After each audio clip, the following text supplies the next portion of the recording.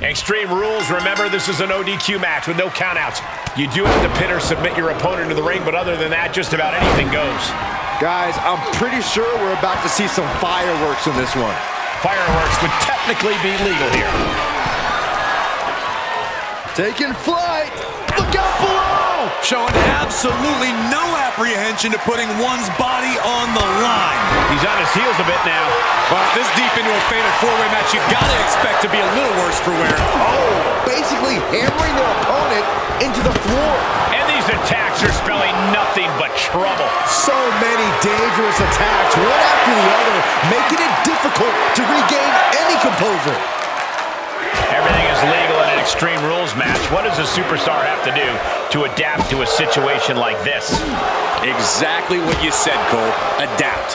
To walk out on top in an Extreme Rules match, a superstar has to change themselves and tap into that dark side of their psyche. There is nothing but malintent behind each of these attacks. Nice running crossbody. What in the world is he thinking? Does he not want to win? Oh, man, meeting the barricade. Nice running crossbody. And just like that, it's all over. There's two! Somehow he kicked out. How close was that? That was about as close as it could get without it all being over for him. I think there is still some shock in the air over the fact that that didn't produce a pinfall. Bludgeoning them with that bat.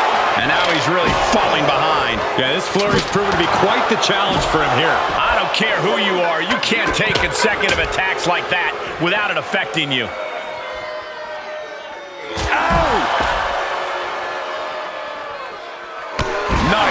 Crossbody.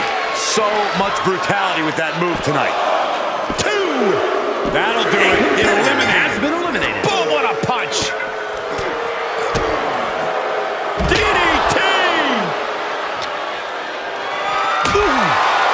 Kendo stick to the skull.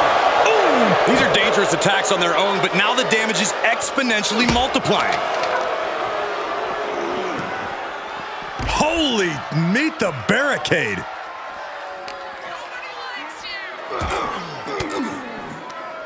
Oh, impressive counter. Nice running crossbody. The big gun fired yet again. Two! Kicks out, just kicked out! You gotta be kidding me. Surviving that maneuver is absolutely amazing. Hey, it might be time for a change of strategy. His